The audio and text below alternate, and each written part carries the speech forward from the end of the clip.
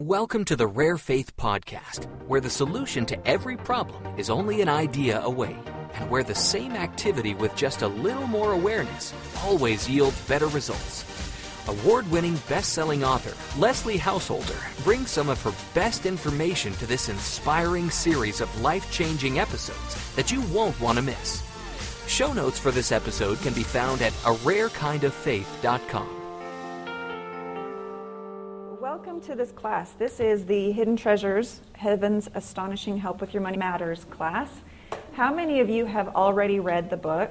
I'm just curious. Anybody? You're reading it now? Okay. How many of you have downloaded it? Okay, did you know it's a free download? It's right here. It shows you where you can download the book for free. And so a lot of what we're going to talk about today is in the book. So if you don't catch the notes, just go download it. Okay? And then tell your friends.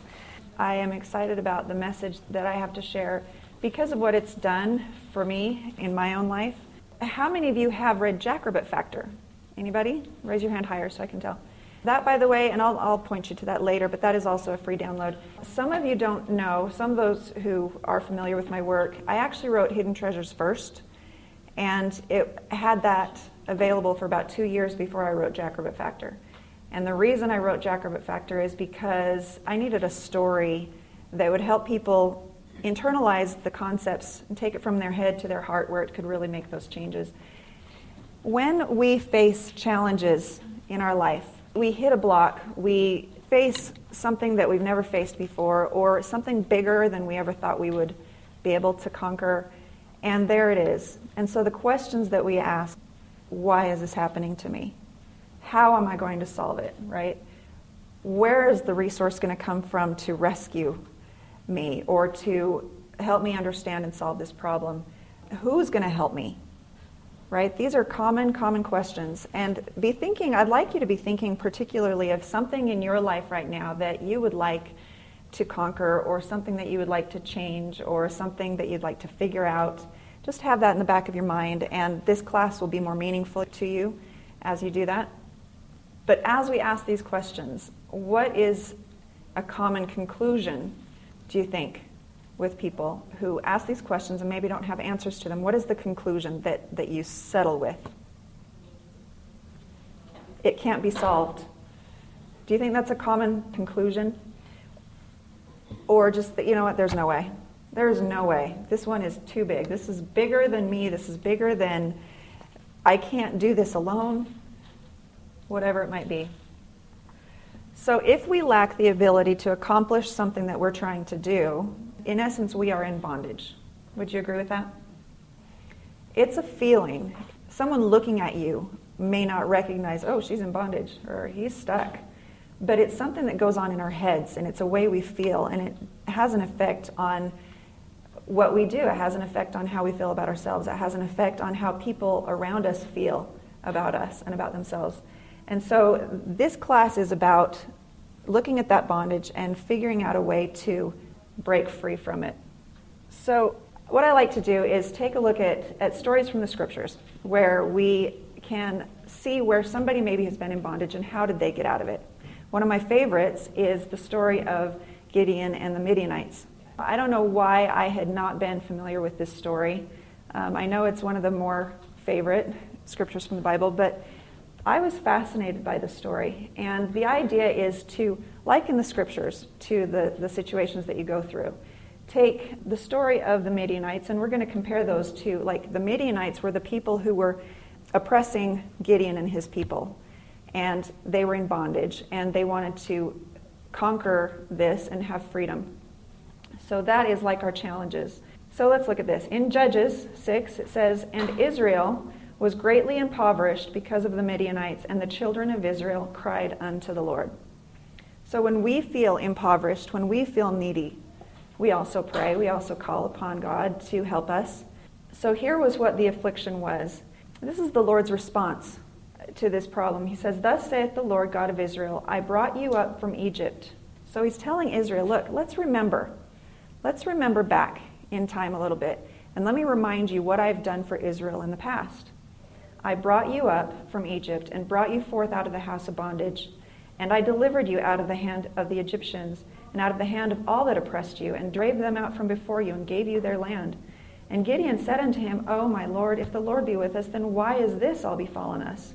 And where be all his miracles which our fathers told us of? But now the Lord has forsaken us. I love that scripture because to me, Gideon is ancient history. And so is Moses. That's just, in my head, I've lumped them together. But look what Gideon's saying. He's like, yeah, but that was in olden times when the Lord was with the Israelites. Where are you now? That's in the olden days. That's in ancient history when you helped Israel. But what about now? Do you ever feel that way? I, I like to look at that and say, all right, we are no different. The, the Lord can help us. And uh, He can help us as He helped Israel with Moses, as He helped Israel with Gideon. And the Lord is the same today, yesterday, and forever. And so it's easy to look at ancient scripture as, oh, that was back then. But Gideon was doing the same thing. So let's see what happened to him. Here was the plan. The Lord looked upon him and said, Go in this thy might, and thou shalt save Israel from the hand of the Midianites. Go give it all you've got, give it your best shot. And he said unto him, O my Lord, wherewith shall I save Israel? Behold, my family is poor in Manasseh and I am the least in my father's house. These are his excuses. We have excuses, right? We do this all the time. It's human nature. And the Lord said unto him, Surely I will be with thee, and thou shalt smite the Midianites as one man. All right, so this is where it gets interesting. And the Lord said unto Gideon, The people that are with thee, your army is too big.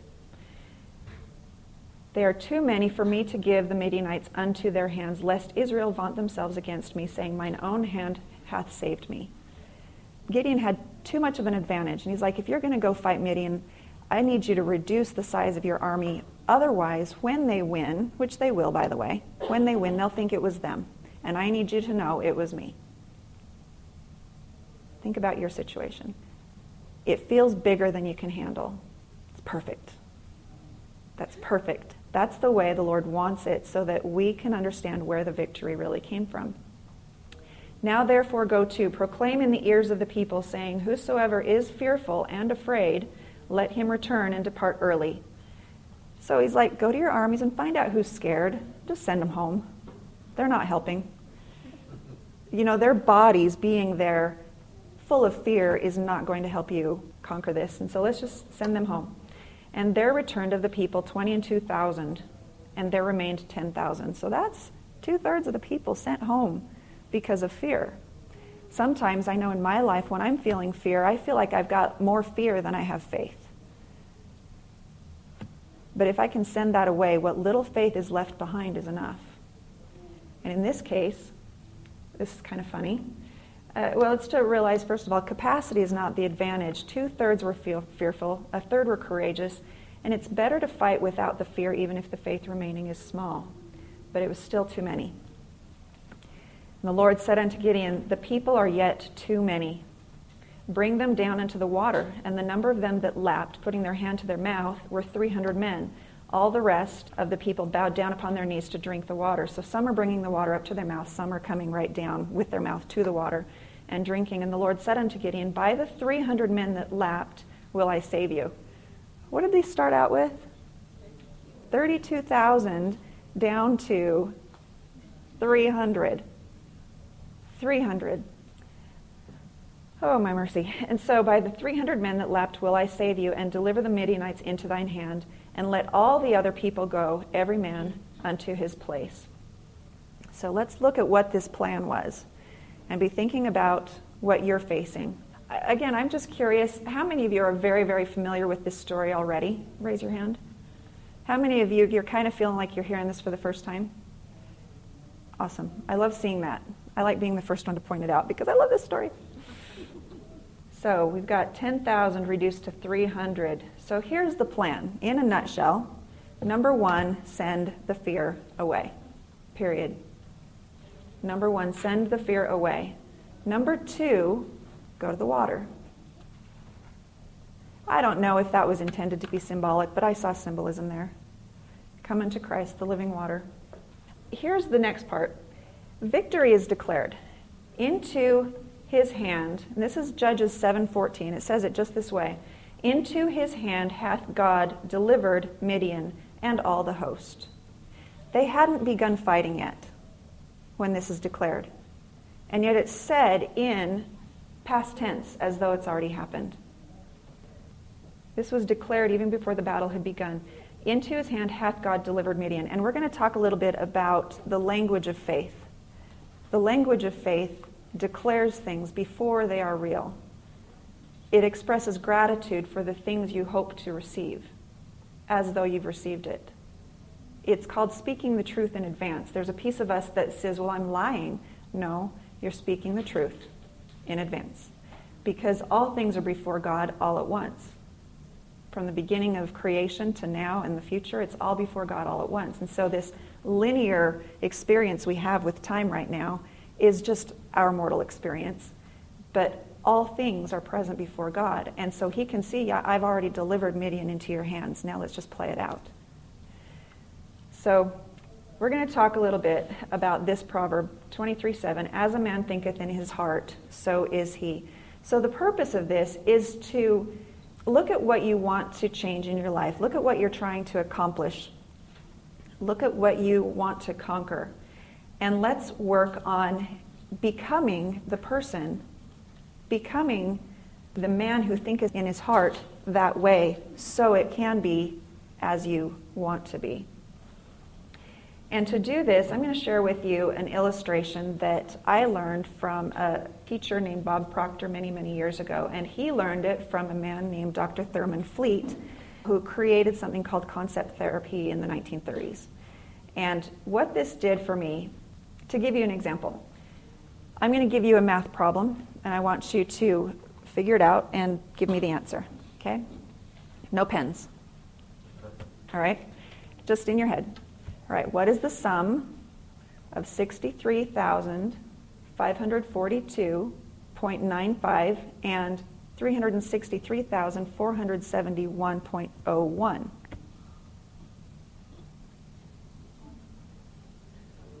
oh, I've got it. I heard you. Is it a hard problem? Is it a hard problem? If you have a tool, it's easy, right? Okay. So it's. I don't know what it was. yeah, no, uh, not supposed to write it down. And here's why. Now, if I were to say, I'll give you the problem again, or a variation thereof. And this time when you write it down, I want it to look like this. Okay, so you can write it down, but you get to do it longhand. All right? Here we go. What is the sum of 693,422? Okay, do you get the point? That, no, you don't get the point. no, here's the thing it's not a hard problem, but in order to solve it, what do you really need? Numbers, Numbers symbols. Okay, so if you have symbols, you can look at it and say, oh, easy, done. And it's accurate. All right, so for seven years, I was attending seminars and reading books that were trying to help me understand this concept as a man thinketh in his heart, so is he. And it was teaching me success principles, how to think positive so that you can have positive results, how to uh, uh, set goals properly so that they can be achieved. All of this, I was eating it up, and I knew there was something to it, but I could not quite get it to work. You know, I saw it working for other people, but for whatever reason, I just couldn't get it to work for me. And then uh, Bob Proctor showed me this illustration that I'm going to show you, and what it did for me is it gave me numbers to solve the problem with. Because all of those books, all of those seminars was a lot of verbiage. Yeah, yeah, yeah, yeah, 600 million point, blah, blah, blah. And I'm like, yeah, yeah, I know it's easy, but I can't seem to get the answer. I can't seem to get it to work. And then he showed me these symbols, and I'm like, oh, bam, bam, bam, got it. Know what I'm doing with my head. I know how to think and in three months we tripled our income. That's what the power of this diagram is that I'm about to show you. And I've had, Uh, there are thousands of people who have had similar success just understanding success principles and this concept, as a man thinketh in his heart, so is he, in symbolic form.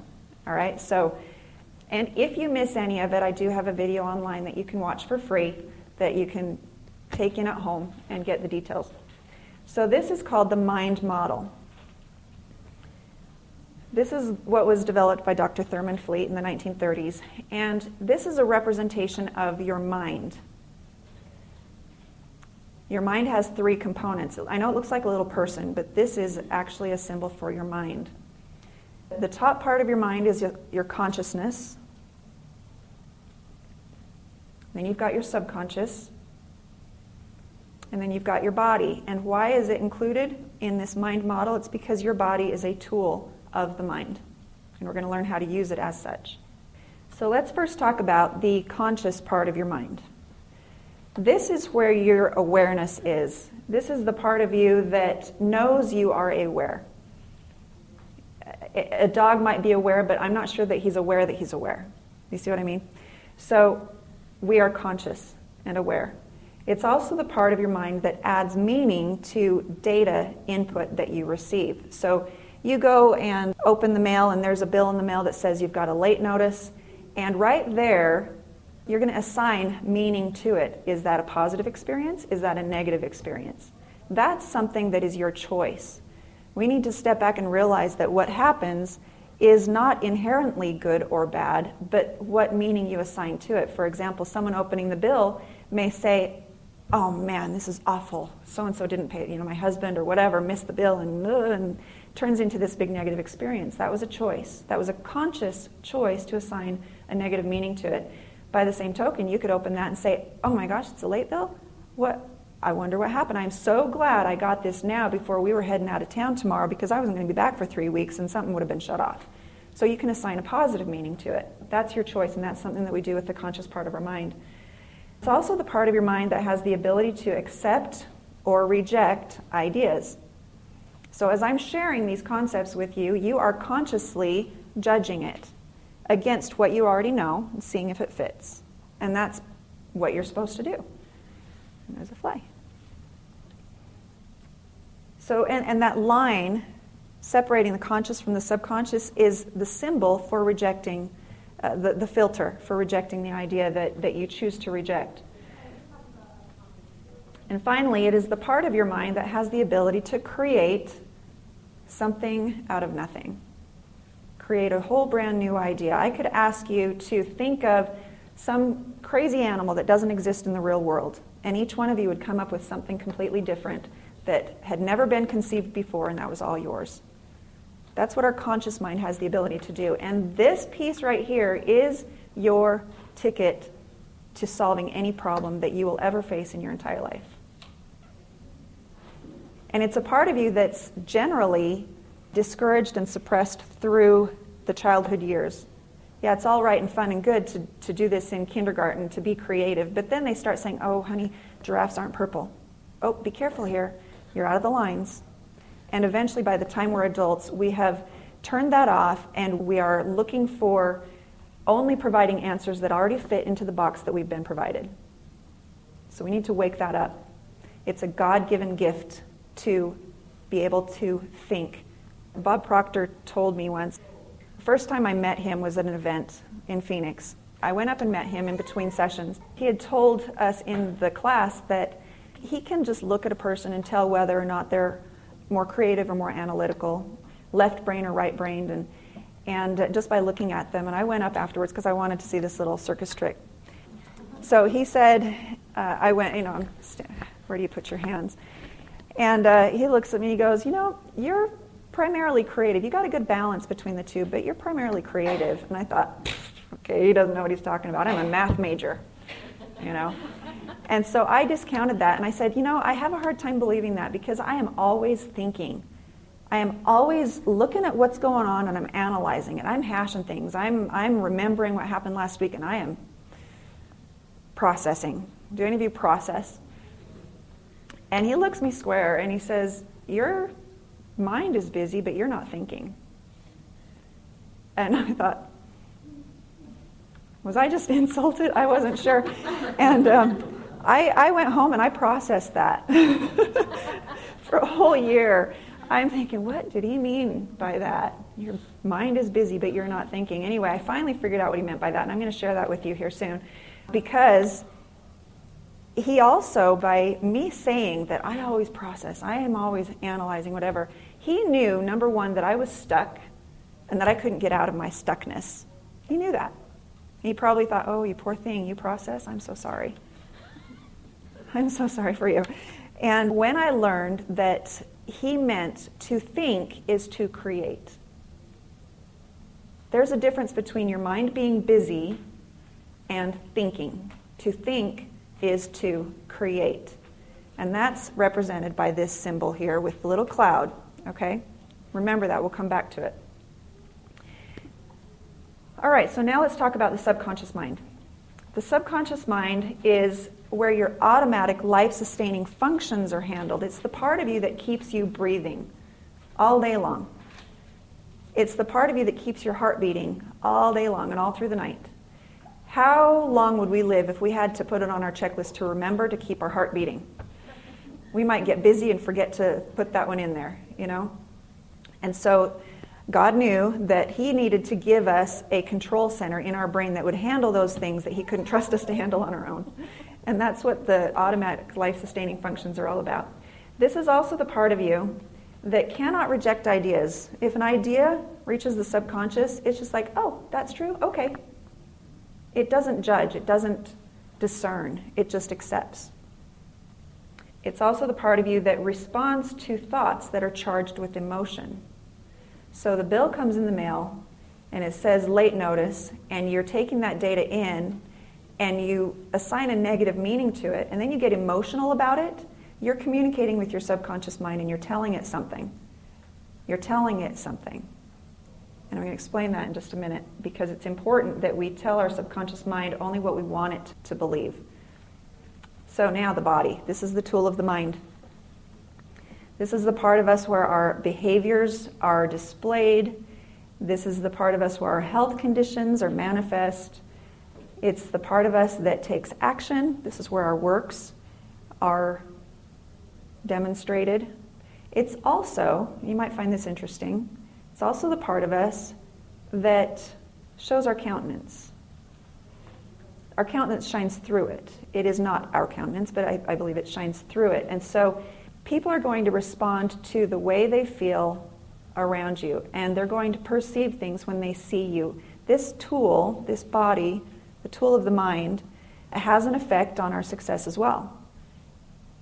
And so the outer conditions of a person's life will always be found to be harmoniously related to his inner state. Men do not attract that which they want, but that which they are. As a man thinketh in his heart, so is he, right? So let's look at this in symbolic form. As a man thinketh in his heart, or in the subconscious, I'm going to use those as interchangeable. Uh, you can't really tell, but this is lighter. So, as a man thinketh in here, so is he. These are the results that you'll see out to the right. So, it's not what we think consciously, it's not what we do action wise. It's what's going on inside of us that has more control over our results than anything. Here's why we remain in bondage. So we've got these five little antennas on the top of our head, uh, symbolically, that represent our five senses. We see, hear, taste, touch, smell. And again, this video is online and it's free, so you can get all the details. And the reason we remain in bondage is because here we have some kind of an idea or a belief in our subconscious mind that is already accepted as true, whether or not it may be true. This is a child that has not developed a filter yet. Any child who is hearing things, taking it in, when they're young, they're not saying, oh, that's not right, are they? They're just, yeah, oh, yeah. So stuff is coming in here through our childhood that's there, and it may or not be true. And it's stayed there and it's still there. So, do you think there's things in the subconscious mind that, do you think it's all true what's in your subconscious mind? Can you think of one thing consciously that might be in there that you know is not true? I'm not good enough. I'm not good enough. Do you remember a time where that may have been planted? Okay. Consciously, you know better. but it's in there and it affects the results that we have. Okay? So here's what's going on. Whatever that concept is, and there's a billion of them, I'm sure, but let's just take the example of one idea in the subconscious mind that has been accepted as truth because that's where it is, and it moves your body into a state of being. I'm going to call it a vibration. Everything on a molecular level vibrates at different rates, and emotions have different vibrations associated with them. And so it's those ideas in the subconscious mind that control our vibration of our body. And it's the part of you that, you know, you go into an elevator and you somebody walks in and you get an initial sense about that person. It's just these vibrations that are emitting and you sense those things. For example, have you ever walked into a room and the person in there, you know they're mad and they haven't even said a word? Okay, so a feeling is nothing more than a conscious awareness of a particular vibration. So here's the thing we decide whether something is possible. Remember back at the beginning, I said we look at our problem, we think, how is this going to work? Where is this resource going to come from? Who's going to help me? We don't have answers. We decide whether something is possible based on the evidence that we see. And here's what's happening we see our results. Those results are out there, and we're going to take that data in to our consciousness through the five senses, and we consciously see our results. We see the condition of our checkbook. We see the condition of our car, whether it starts or not. We, we're taking this data in. And so the question is how do you feel about things the way they are? Images charged with emotion become instructions for the subconscious mind. The data input, the circumstances of your life, as you observe them, as you interact with that relationship that, that you're struggling with, as you look at the bills and you're feeling angst, as you look at your health and you're recognizing the pain, you're taking in data input through your five senses. Now, how do you feel about those circumstances? As you feel about that data, you're adding emotion to it, and those thoughts charged with emotion become instructions for the subconscious mind. Our subconscious mind is designed to, now remember, why did God give it to us? To keep us alive. it's also to keep us safe. Have you ever been to a scary movie? And uh, my husband, he's so funny. You watch any kind of a action movie with him, and he's over there bouncing. His knees are bouncing. He's tense. He's like this, and I'm just watching him, and I'm like, "It's not real, honey. I promise." You know, and. Uh, but as an image comes in and there's emotion attached to it, your body is going to move into a vibration that corresponds with those images, and it responds, and it's a, the adrenaline's pumping, and it's all there. you think about it, you're watching a scary movie and you're starting to feel that adrenaline. Why is your body releasing adrenaline for you? What's the adrenaline for? Fight or flight. It's helping you get out of there because it has received the image, it feels the emotion, it thinks your life is truly in danger and it's giving you a physiological response to save your life. So, your subconscious mind is a wonderful, wonderful advocate for you, but it's not that smart. You got to use your conscious mind to filter what's real and what is not. If you're watching the movie and the whole time you're thinking, not real, not real, not real, that adrenaline's never going to release because you've coached your subconscious into being, don't worry, it's okay. You don't have to save my life today. All right? So here's what happens when you take the data in and you allow it to be charged with emotion, it sends the instruction to your subconscious mind that says either keep doing what you're doing or you better do something different. Because my job as a subconscious mind is to keep you safe. Now, think about that. If you have a belief deep down that it's safer to be obese, or you have a deep down belief that it's safer to be poor because, after all, the rich can't go to heaven, or you have a belief that it's safer to be single because relationships are too hurtful, or whatever it might be, your subconscious mind is just helping you stay safe. And if you consciously know better, there are ways that you can help train your subconscious mind to be okay with what is true. And so here's what happens. As the idea is charged with emotion and you're giving that instruction to your subconscious mind, it moves your body into a corresponding vibration. This vibration affects your countenance, it affects your energy, it affects your stamina, it affects anything physical. And so here's what happens once your body is in that vibration, the natural byproduct are more of the same kind of results. Because remember, as a man thinketh in his heart, as what's going on in the subconscious mind, so is he, and so that's what you're going to get. So when I saw that, I thought, oh, I was looking at our problems and realizing it was me all this time because I am super, super emotionally charged about how bad things are. And that's what I was doing for seven years.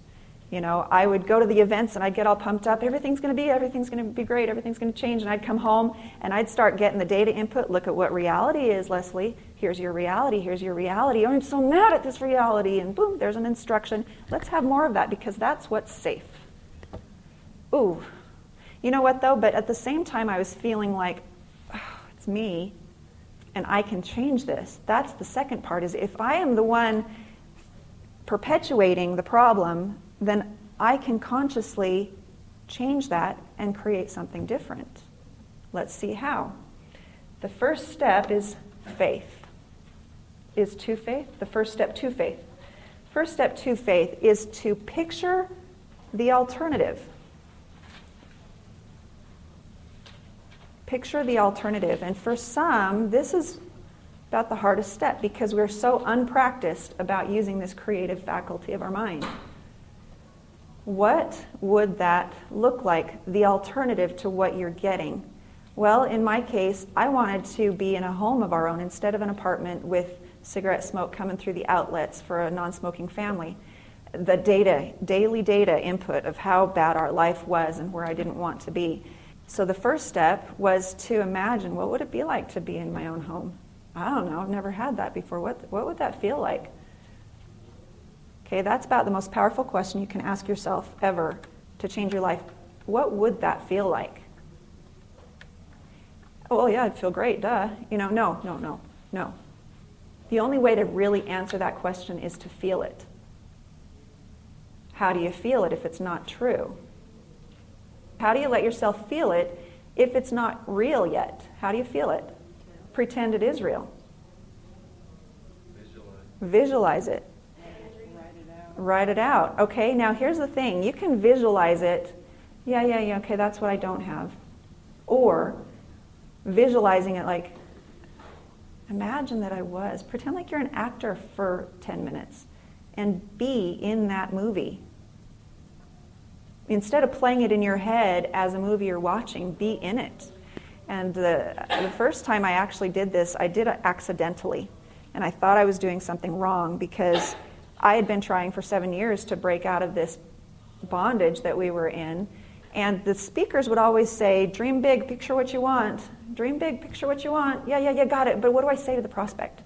Okay, dream big. Okay, I know, I know, I know. I got a big dream. Got it. But, but what do I, you know, how do I schedule my time? Dream big, picture what you want. Okay, yeah, but uh, what do I do with this relationship over here that's driving me crazy? I was hearing it. I wasn't listening. And so finally, things got so bad, and you'll hear this on my video online, but that I, I, came outside one day from that apartment, and there was my broom on the ground, and it had been broken by some neighbor kid, and I called the police. That's where my mind was. This is. Have you ever had a neighbor like me before? I, you know, be compassionate. They're going through some stuff, but there was there came a point where I thought, you know what? Picture what you want, dream big. Fine, I will. And I just thought, I'm going to just ex- escape. Escape mentality. I went to my room, I closed my eyes. I'm like, you know what? If I can't have it in reality, because I've given up on that, I'm just going to pretend like I have it. I'll show them, spite them, you know. And the people who would tell me, just dream big, picture which one. All right, fine. Here I go. So I, uh, I did that. I imagined what it would be like to be in a house, and it was harder than I thought. It's work. Thinking is hard work. Um, I think it's Bertrand Russell who said, there is, no, there is no harder work than to think. Most people would rather die than think. It's exhausting, it really is. But the alternative is even more exhausting. you know, the long term bondage cycle is super exhausting. And so I, I closed my eyes and I thought, well, what would that feel like? Okay, I have to imagine, pretend like I'm there. Really, what I'm doing is I am creating an image and I'm handing it to my subconscious mind with emotion so that it will release those, those hormones or whatever it is that gives you good feelings because it thinks you're really having those experiences. It can't tell the difference. Okay, write this one down.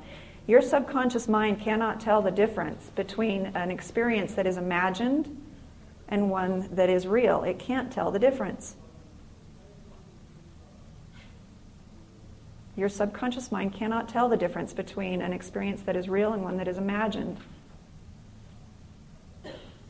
So that day, I was imagining being in a home, and I did that until I started to feel what that might feel like. That's a physiological response to your subconscious mind observing a new reality as though it's true and saying, oh, well, if that's your reality, this is how you'll feel. And it provides that release of chemicals that would be the same feelings you would expect to feel when it's real. So you get those chemicals going before it's happened, and what does that do? Here's how you take it from that thought cloud into your conscious mind. You get this idea, well, it might be nice to be in a house of our own, and then you take time to ponder it consciously. And as you do that long enough, it doesn't have to take long. It might take long the first few times you do it. You get used to it, you can train your brain. But you start wondering, well, you start thinking it is possible. I am able. I have all that I need right now. I have loving relationships. Speaking the truth in advance just like Gideon and the Midianites, okay? Try it on for size, see how it feels. And as it's charged with emotion, and remember, you're just asking, how would it feel? How would it feel if it's already accomplished? So, as you consciously think about it, let yourself get emotionally involved with it. It hands over new instructions to your subconscious mind. Faith is heartfelt belief in something unseen. And heartfelt doesn't have to mean intense either. I used to think that in order to achieve a goal, I had to have intense, immovable belief. I found out that's not true. I found out that your belief can be itty bitty. How big? As a mustard seed. Here's the deciding factor, though it's having belief without doubt. So it's not how big is your belief, it's do you have a little bit of belief with no doubt. And there's an easy trick, an easy trick for removing doubt. I'm going to share another one with you a little bit later if we have time. But the first one is just write this down. I choose to believe because belief is a choice, it's a conscious choice. Well, but what if you're wrong? Well, I may be, but I'm going to choose to believe. We think that we can only believe in something if it's true. But there are two kinds of faith. Boyd K. Packer said that there are two kinds of faith. One is born of experience that teaches us that the sun will rise again because it has before. Um, you can look up his quote, but he says there is another kind of faith, rare indeed, worthy and unyielding, that causes things to happen. Is what we're talking about. The, the quote? That's not his quote. I'm going to invite you to go look it up because I slaughtered it. Boyd K. Packer, Rare Kind of Faith, and you'll find it. First, you'll find my blog, and then my blog points to it if you don't find it directly. If you just look up Boyd K. Packer, Rare Kind of Faith, you'll find it. Okay, so here we've added emotion, We've allowed the emotion, we feel it, it's in the subconscious mind. By law, it changes our countenance, it changes our awareness, it changes our results. And as you see, our results become a reflection of the new image in our subconscious mind. This is kind of fascinating? And this was the symbolic representation of everything I'd been taught in over 100 seminars those first seven years. I'm like, Oh, so that's what they meant by dream big. Picture what you want. Oh, okay. I was so focused on what do I need to do, focused on the body part, right? The, what, what the actions were. So Philippians 4 8, whatsoever things are true, whatsoever things are honest, whatsoever things are just, pure, lovely, good report, if there be any virtue, if there be any praise, think on these things. There's a clue. There's a clue. You know, all of the answers that we need to find are in the scriptures. Sometimes it takes pointing them out a little bit, but there are laws, natural laws that govern everything. And God knows them. And He tries to teach them to us through His scriptures, through the prophets. Of, and it's, um, if we obey those laws, then we will prosper. I used to think that, um, that the law connected to blessings of prosperity was be good and you'll prosper. I was being good, I was being nice to my neighbor, except that one neighbor.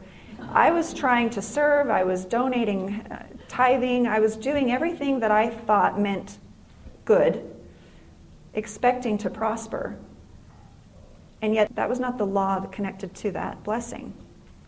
What I'm showing you here is the law connected to the blessings of prosperity, of health, of relationships. This is really what it boils down to, and it's how we think.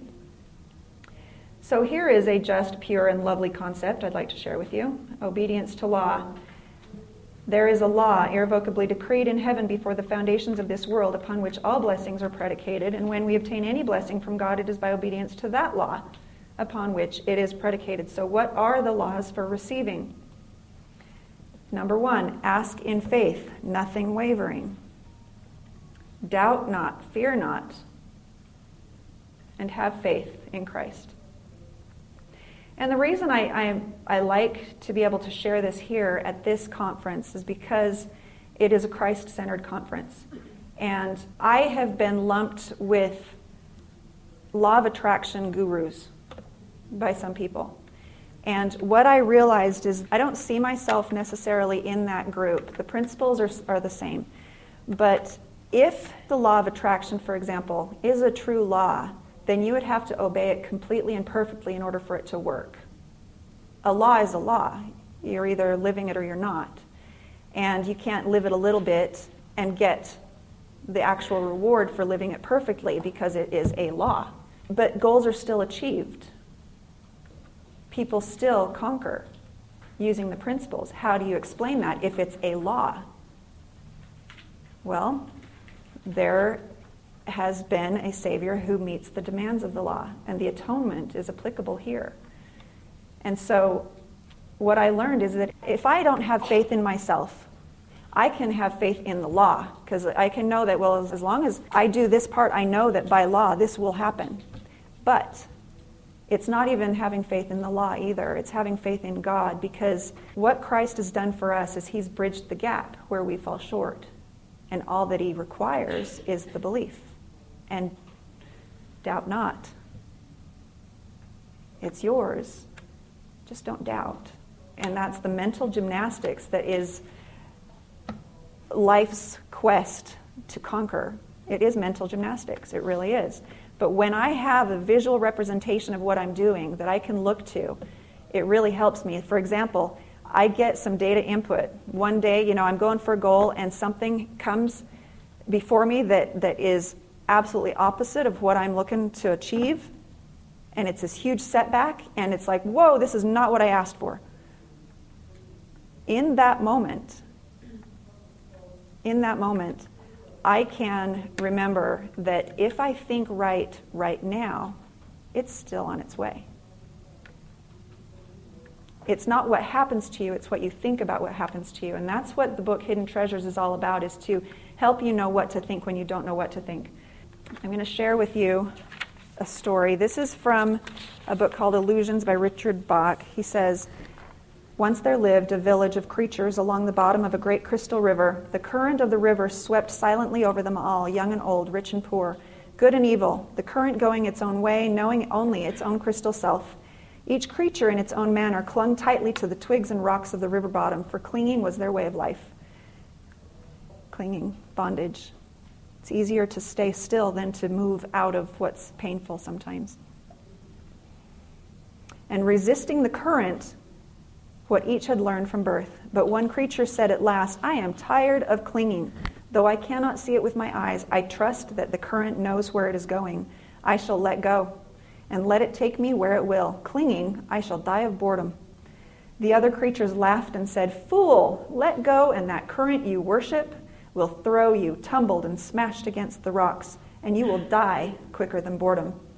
But the one heeded them not, and taking a breath, did let go, and at once was tumbled and smashed by the current across the rocks.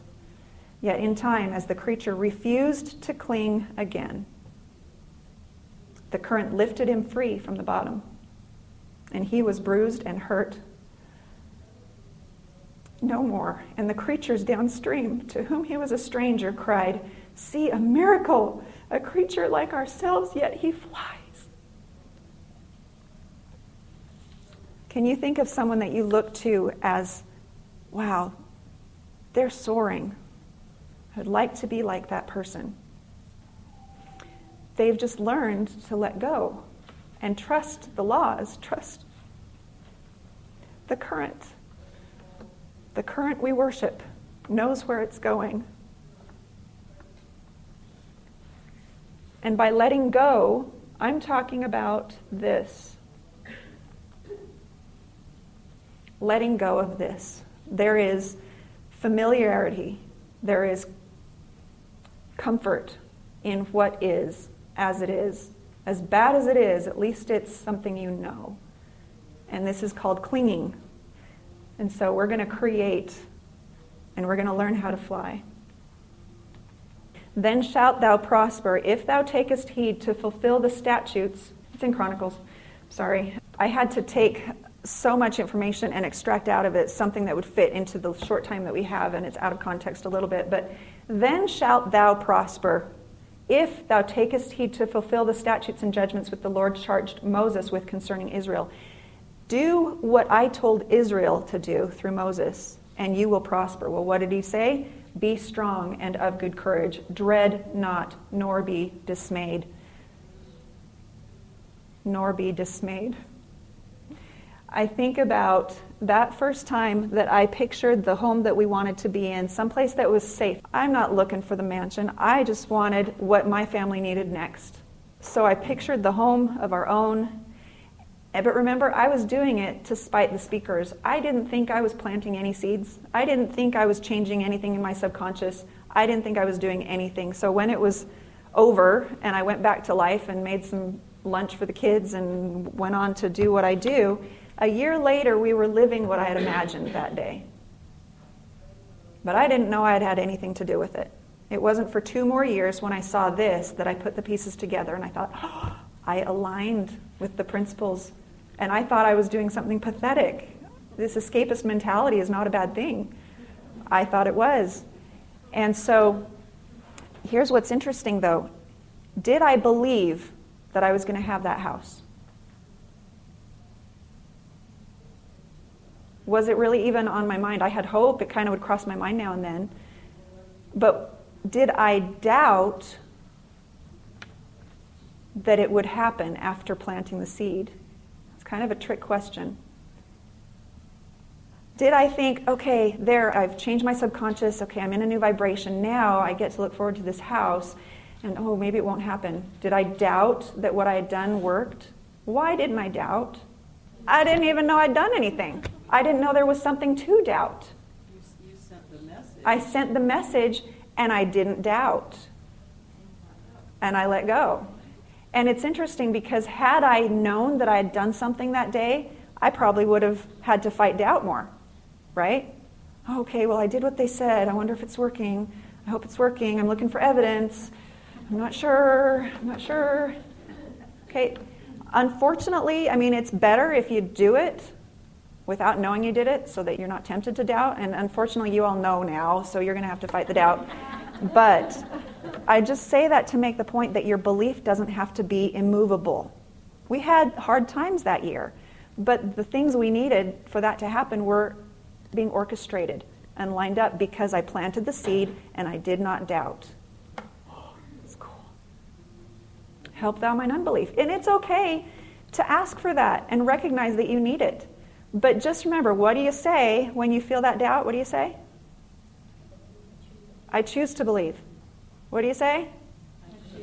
I choose to believe. It disappears that fast if you declare it before.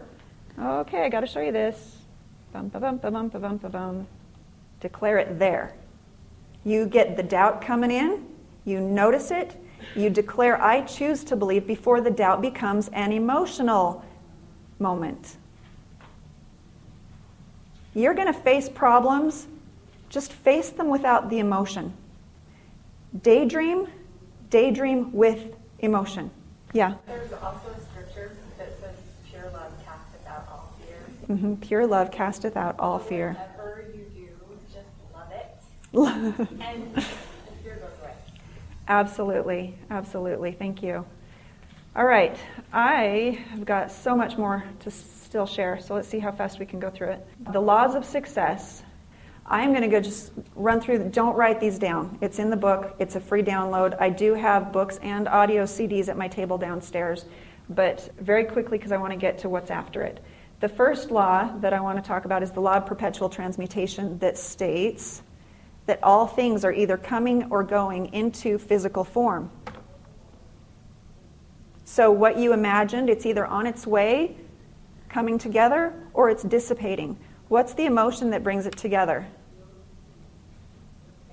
Faith. What's the emotion that helps it dissipate?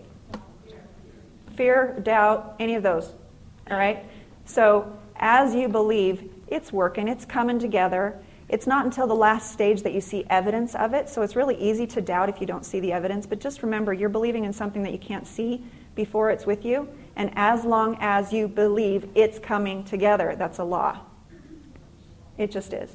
It's like condensation, rain, vapor in the air. Sometimes it becomes a cloud, sometimes it goes back to the ether. Sometimes that cloud rains, sometimes it just dissipates. Sometimes that rain becomes ice, sometimes it melts before it has a chance. It's this constant flow of form to non form. I'm tired.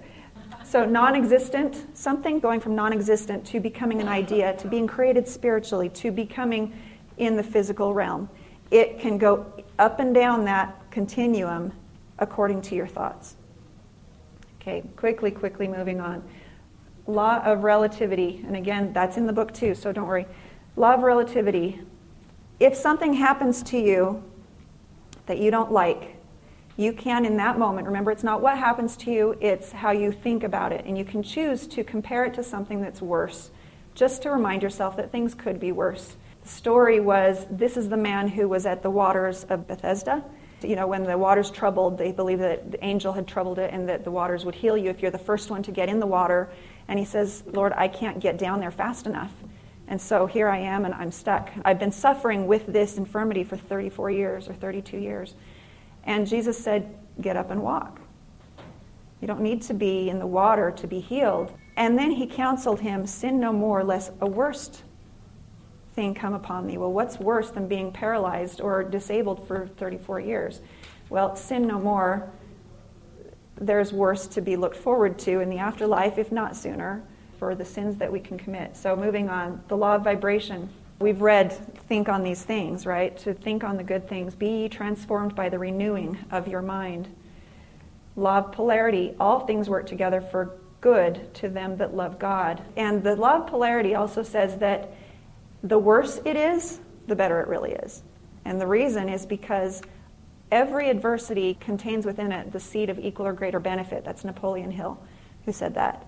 Every adversity contains a seed of equal or greater benefit. So if the adversity is catastrophic, then the benefit contained within it is equally incredible. Now, you stub your toe, where's the good in that? there's probably something, but it's not going to be something to write a book about, right?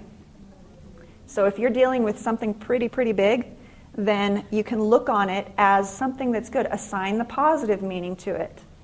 I don't know what this is. You know, I remember having days where it was just an awful day, and I would drop to my knees and I say, Heavenly Father, thank you for this awful, awful experience because it's teaching me what a good day feels like. And, and, and the sooner that I can go there, the sooner I'm changing me, my emotions are, are, are altered, my vibration changes, and not only do, does life itself change, but I tune into inspiration that helps me solve the problem.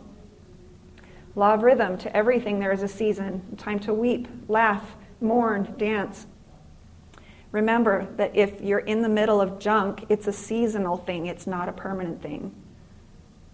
And as you think on that, what is it? If you imagine, well, what's it going to look like when it's over? What are you doing?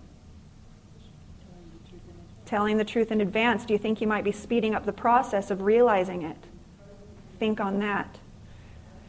Law of cause and effect ask and it shall be given you, seek and ye shall find, knock and it shall be opened unto you.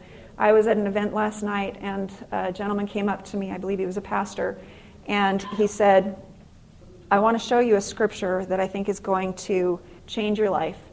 And I said, What is that? And he shared it with me, and I don't even remember where it was, but it's where God lends an ear and the story that he surrounded around that, he, he described this image. And this is a great image to create in your head if you're looking for one to, to entertain. Imagine a king on a throne, and around him are the crowds, the guards, the, the citizens, and he is protected by armies. You know, there's just this throng of people around the king and his throne, and you have something that you need. Where are you in the crowd? Where do you see yourself in that crowd? Just take note in your own head. Where do you see yourself in that crowd? How easy is it to get to that king? And this is the image that he created for me. You are a son or a daughter of the king. What does that son or daughter have to do to get through the crowds and approach the king? Do they need to be given permission? Do they need to convince the guards to let them through. As the child of the king, you push your way through. People make way for you. You go right to the throne and you say, This is what I need. And he smiles down on you because you are his child. And he grants it because you believe. And that was a new image for me because there have been times where I felt like, oh, he's got billions of people to care for, and I'm just little old me, and I'll be fine, you know, take care of me last, I'll be okay. But then I remember I am his child, and he knows me by name. And how many times has he said, Ask, and ye shall receive? Knock, and it shall be opened unto you. Seek, and ye shall find. That's a promise. That's not a fairy tale. That is a promise. There's only one condition, and it starts with a D that you're not supposed to do. What is it? That is the plague. Doubt is the plague. Because we have so much evidence all around us that it's not possible. Because we're operating on only our five senses. But we have that capability to picture what's true before it's really true. It's already done as far as God's concerned. It's already done. It's already accomplished. All things are before Him at once. And that goal, that desire, that wish, that want, that need is already accomplished. If you can believe that and doubt not, the law of perpetual transmutation will bring it about because there is a rare kind of faith and the way Boyd K. Packer says it, he says, There is another kind of faith, rare indeed, because it's hard to not doubt. But what do you do when you doubt? What do you say? In Isaiah, he says, Fear thou not, for I am with thee. Be not dismayed, for I am thy God. I will strengthen thee. I will help thee. I will uphold thee with the right hand of my righteousness. And so, how long do we have to wait? There is another law, the law of gestation. These ideas take time. It doesn't help to plant a carrot seed and check it every three days to see if it's growing. Some things are better off planted and left alone. Left alone. And if it doesn't happen when you expect it to, How many of you have ever had a, baby? Raise your hand. Any of you go overdue? When you were overdue, did you say, oh man, I guess this isn't going to work? I'm not sure there's a baby. I don't know about that. No, the longer you waited, the more expectant you were. How's that for a way of thinking? So when the goal doesn't happen when you expected it to, instead of being discouraged by it, this is a choice. Instead of being discouraged by it, say, Oh, I'm excited because it's all the more sure. Every day that mom waits for that baby to be born, the chances of her delivering are greater with every day that passes. And so you can keep that anticipation, keep that excitement you are expecting, and you don't want it delivered prematurely anyway. You want the baby, you don't want the fetus. And sometimes we think that what our goal is needs to be right now, and God's just saying, I want that for you too. You just don't want it yet, I promise. It will be better for you if you wait two more years, three more days, whatever it might be. Just trust that every seed, every idea seed has a gestation period. And it's only your job to believe, cast out the doubt as though it were sin, until it's realized. And what if it's not realized until the next life? So be it. Trust God and be at peace. And I'm going to close with this. You're right on the right track. I know it feels awful, but everything is just as it should be. It's all good. Have faith. Have faith. Be still. So, thank you very much.